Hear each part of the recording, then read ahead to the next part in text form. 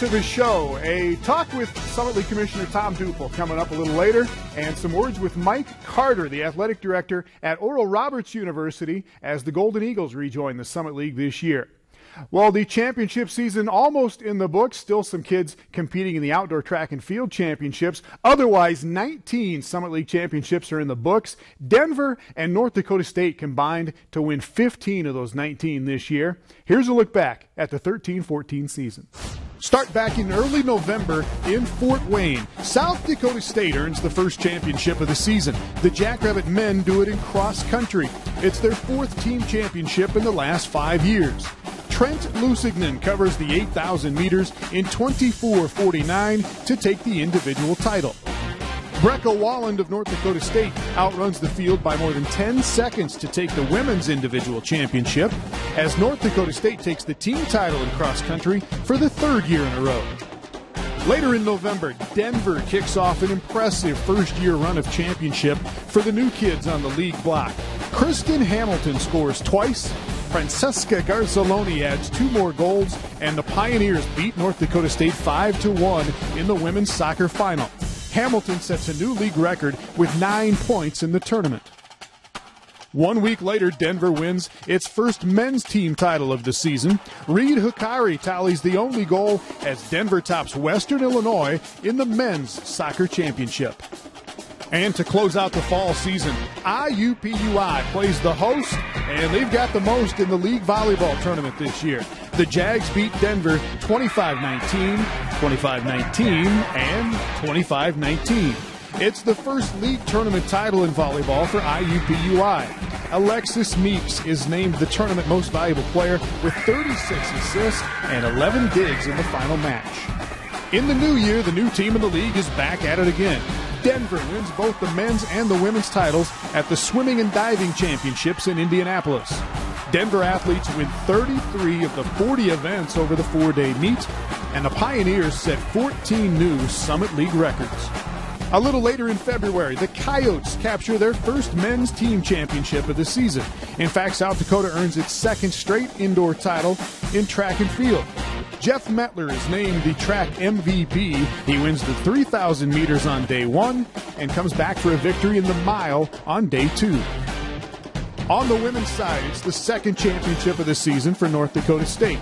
Antoinette Goodman sets a league record in the 60 meters. Ashley Tinglestead sets a league record in the 400.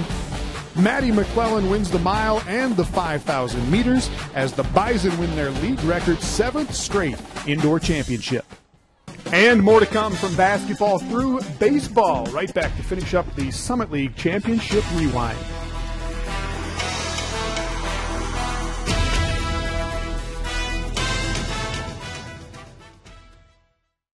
This isn't an epic sports commercial. There's no Hollywood director. There's no million dollar budget. There's no slow motion or stadiums filled with crowds. It's just us. Us. Real athletes. Real athletes. Who want to get better, get stronger, and make the starting lineup. Be healthy and active. And this is where we'll do it.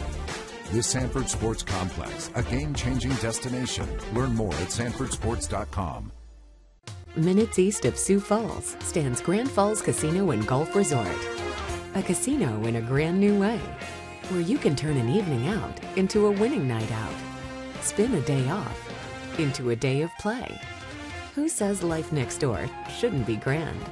Start your engines for our summer car giveaway now through July 27th. Earn entries for your chance to win. Grand Falls Casino and Golf Resort, a grand new way to eat, play, and stay.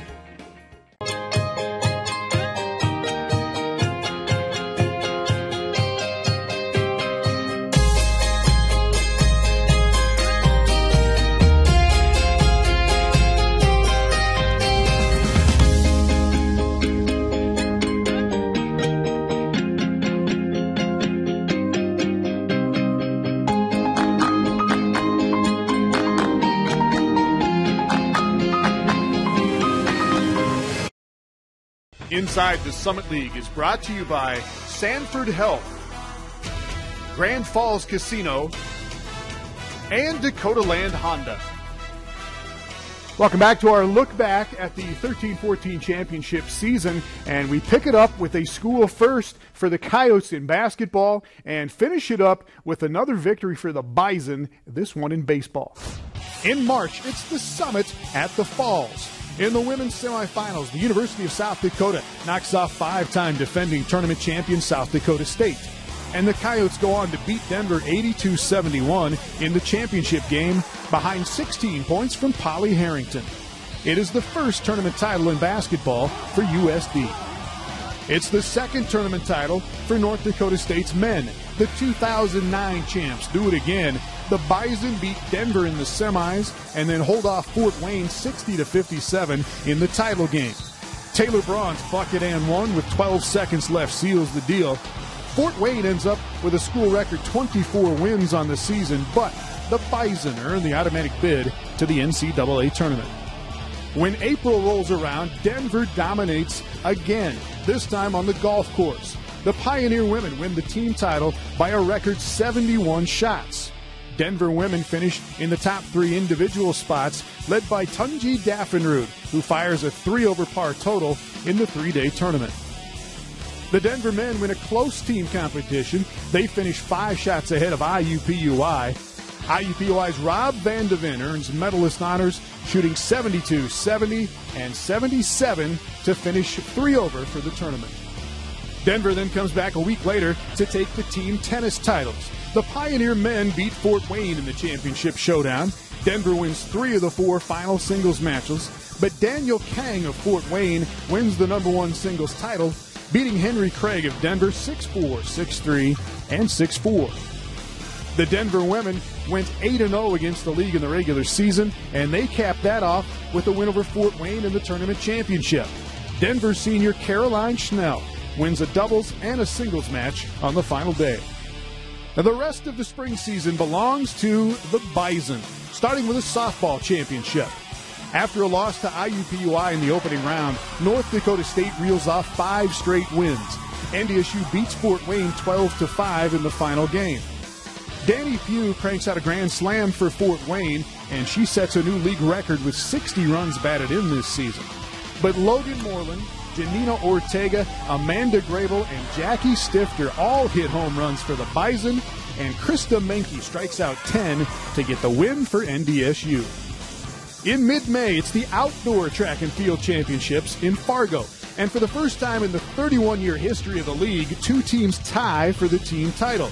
It comes down to the final men's event. North Dakota State wins the 4x4 relay, South Dakota finishes second, and both teams finish with 260 team points.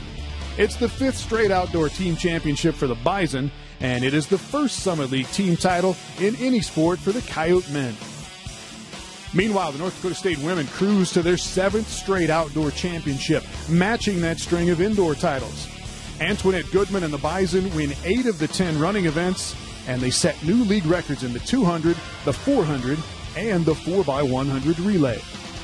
And in the spring season finale, the Bison cap off an incredible sports season with their first Summit League Baseball Tournament Championship. NDSU rides three great pitching starts to three straight wins Reed Funenstein shuts out Western Illinois for eight plus innings in the final game. John Skirbeck hits a first inning grand slam. It's the only home run of the tournament, and the Bison beat the Leathernecks 9 to nothing. Well, all of this championship stuff makes the commissioner very happy. Thoughts on the addition of Denver, the perseverance of Omaha, and the return of Oral Roberts in our interview with Tom Douple next.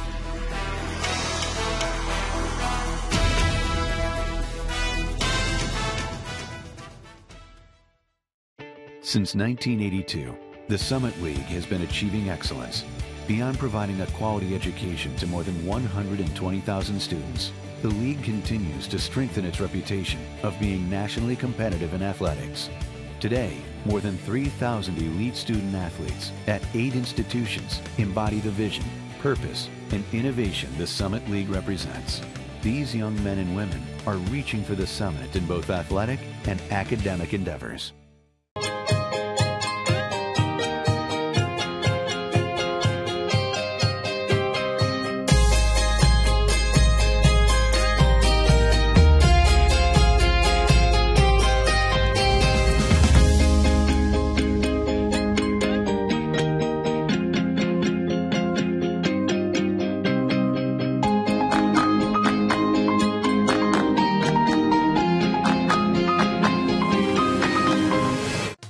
Minutes east of Sioux Falls stands Grand Falls Casino and Golf Resort. A casino in a grand new way, where you can turn an evening out into a winning night out. Spin a day off into a day of play. Who says life next door shouldn't be grand? Grand Falls welcomes the Kenny Wayne Shepherd Band Saturday, June 28th at 8 p.m. Call, click, or visit for tickets.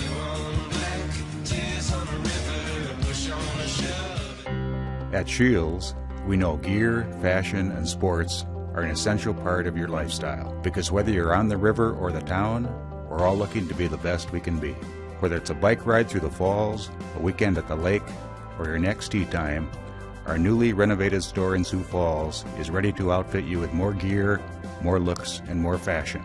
Shields, in Sioux Falls since 1977. Our expansion is now complete at the corner of 41st Street and Western Avenue. Inside the Summit League is brought to you by Sanford Health, Grand Falls Casino, and Dakota Land Honda.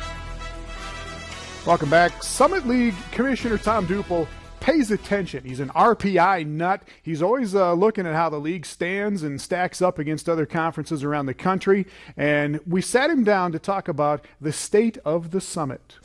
It's been a great year for us. Uh, you know, we started in the fall, and uh, Denver was ranked 14th in the nation in women's soccer. We took that into the basketball season, and we had just a phenomenal season. Obviously, we got our first win in the NCAA tournament in the men's with uh, NDSU winning and, and uh, beating Oklahoma. Uh, but the SDSU women uh, got it all the way to the Final Four in the WNIT.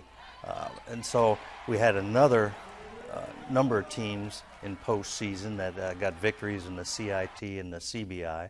We come into the spring and we had our highest ranking that we've ever had with softball ranked 14th in the country, uh, including all the 31 Division One uh, conferences. So we're really pleased with that. We had a bunch of individual, you know, golfers and uh, track athletes uh, that are still competing. From Fort Wayne to Fargo and everywhere in between, this little league that was falsely rumored to be on the downslide a few years ago is certainly now on solid ground. Especially after reaching into the Rockies to find an institution that had a banner year in its first season in the summit we anticipated Denver being a great fit, and boy, they certainly have. Uh, we knew it was going to be a good program that uh, was coming in. Uh, you know, they won men's and women's soccer, they won men's and women's swimming, men's and women's golf, uh, men's and women's tennis. Uh, so uh, they've really enjoyed our league. Um, you know, they've set the, the bar and the standard in a lot of those sports, and now our teams are you know, in a position to be able to understand this is what it's going to take to compete and beat Denver now. While the Pioneers have proved themselves to be a league leader, so has the other most recent addition in Omaha. The Mavericks are in their third year of the four-year grind of making the move from Division 2 to Division 1. They have one more year before their programs will be eligible to compete in Summit League tournaments. You know, making that transition from Division Two to Division One, it's the longest four years you can make right now. And, uh, you know, having them in the league schedule and, you know, they're playing, they're getting a Player of the Week awards or Player of the Month awards, you know, if they earn them. And uh, they are so anxious to, you know, be a part of our postseason tournaments. Um, but uh, they have done a great job uh, with their program. Uh, their academic uh, center is brand new and it's, it's great, and building their new facilities. Uh, everything's on, on the upswing down there. And down in Tulsa, Oklahoma, Oral Roberts officially returns this summer to get the league back to nine members. And while 10 might be ideal, Douple remains committed to the philosophy of addition only for the right reasons. We just had one of the best years we've ever had, you know, all around with the good solid eight programs. Uh, we're going to add to that, which we feel is another great fit with Oral Roberts coming back. Uh, they're a good program. They were a good program in our league uh, a number of years ago, and, and they're going to continue to be a good program. So we'll have nine solid programs. You know, obviously we, we would like to try to get 10 because it's best for, you know, scheduling purposes, but we've got to find that right fit. Uh, there's a lot of them out there that, that uh, we think we could get, um, but we're not sure if they're the right fit. Uh, Denver has been. Oral Roberts coming back and You know, we're really proud of you know the progress that Omaha has made. Uh, is there that magic one out there to get us to 10, 11, or 12? Uh, you know, we're, we're constantly looking, um, but there's no panic. Our presidents and chancellors have made a solid commitment to our league. Um, there's no one leaving, no one's talking about leaving, and what the talk is is the success that we've had and how proud that everybody is about our league right now. Will changes at the highest level affect what happens in the Summit League? If the power conferences start to pay for play, do we have to? We'll talk about that when we continue with the commissioner.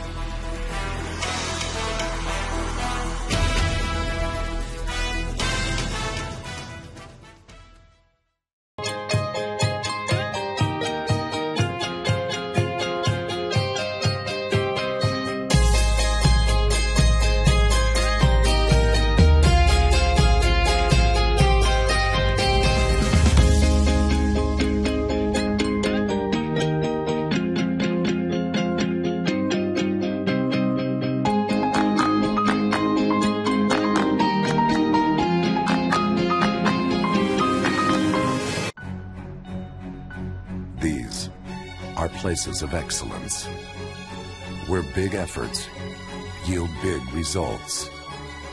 The places where perfection is perfected.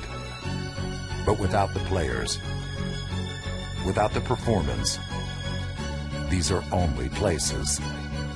The stage is set. Now, exceed yesterday. Choose Sanford Orthopedics and Sports Medicine. Minutes east of Sioux Falls stands Grand Falls Casino and Golf Resort. A casino in a grand new way, where you can turn an evening out into a winning night out. Spin a day off into a day of play. Who says life next door shouldn't be grand? We're celebrating three years with fireworks, cake, and a poolside party on Saturday, June 7th. Grand Falls Casino and Golf Resort, a grand new way to eat, play, and stay. Inside the Summit League is brought to you by Sanford Health, Grand Falls Casino, and Dakota Land Honda. Back to our State of the Summit with Commissioner Tom Douple. We get into new buildings around the league, revenue distribution, and a concept called cost of attendance and how it might affect the Summit League. There is a building boom right now on several Summit League campuses, with new or remodeled basketball buildings either done or under construction or soon to be in Fargo, Indianapolis, Omaha, and Vermilion. We may lead the nation in new facilities uh, coming up there for basketball, but that shows the commitment that our institutions have in those particular sports of men's and women's basketball. Obviously, we'll have uh, volleyball in a number of those as well. Um, you know, when you're recruiting, uh, first thing a lot of recruits look at is you know where they're going to play, uh, what's your attendance, and so forth. And so uh, this really helps in recruiting. In addition to all of the new digs in those summit cities, the league basketball tournaments will move in March to the new Sanford Premier Center in Sioux Falls the new event center really is going to take our you know basketball tournament to a whole new level. And and it goes along with the success that we've had in basketball. I think we've grown the tournament's grown and we're ready to make that next step uh, taking a tour of it uh, today it's just fantastic all the fan amenities that uh, we're going to be able to offer our, our, you know member institutions and it's great. Uh, we really feel privileged to be, you know, in a new tournament uh, arena uh, for next year, and all the support that we've gotten from Sioux Falls has been, you know, uh, takes us to another level. When we got that uh, article in the USA Today, where you know the headlines were Summit League's March's best kept secret, um, that really opened up a lot of eyes. Well, so did the performance put on by the North Dakota State men in the NCAA tournament which not only garnered notoriety for the Bison program, but generated a financial payback for the entire league. And that is something Douple says that the league tournament has been able to do as well. We've been very fortunate um, getting great revenue from the basketball tournament. Um, you know, every ticket that's sold and uh, concessions monies that we do make and um, any uh, sponsorship money after expenses all gets distributed back to our members. And uh, there's not many mid majors that, that are being able to distribute money back uh, based on their basketball tournament, and uh, so that's that's a positive for us. And you know, when we talk to potential new members and uh, so forth, that was an area we really were able to sell. Money obviously will continue to be a major topic of discussion as the league moves forward. The question of who gets what and how much and why might get a little more complicated in the near future as the NCAA looks at proposed changes in the way it deals with student athletes at the highest levels. They'll talk about autonomy, where the Power Five conferences in college football could pay players and provide medical insurance, for instance. And then there is a term called cost of attendance, the gap between what a scholarship pays for and the actual overall cost of going to school. Douple says there's no way to know yet how those decisions will affect the Summit League, but he and the President's Council are preparing to face those issues and a few others in the next round of league meetings. You know, one of the big things that, that uh, we wanted to know is we wanted to keep our AQs. That's important for us to get that automatic qualification into the NCAA championship. In this new model, we feel that that's going to be uh, taken care of. The other one, obviously, is our revenue distribution. Will we have the same revenue distribution that we have now? And that seems to be addressed as well. So those were the two major concerns that we had. Now it's just getting into the weeds and the nuts and bolts on on what autonomy really means and how it's going to play out in recruiting, um, you know, the cost of attendance, and uh, would some of our institutions be willing to, to go to the cost of attendance, or should we, as a league, you know, make a make a policy on issues like that? So we'll spend a lot of time on the new NCAA governance. Uh, uh, that's our number one topic going into our meetings. Well, those meetings will once again include representatives from Oral Roberts University. We'll talk about their return to the league next.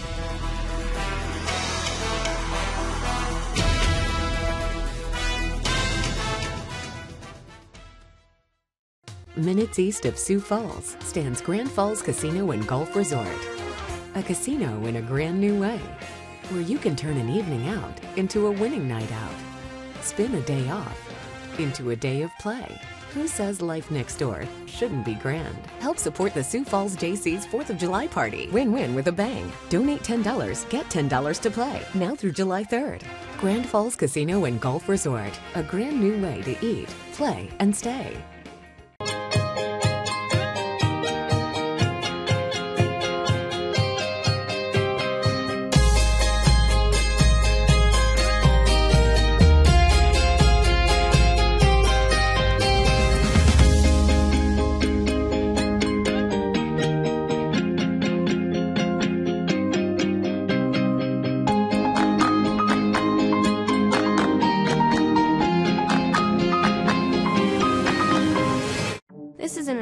Epic Sports commercial.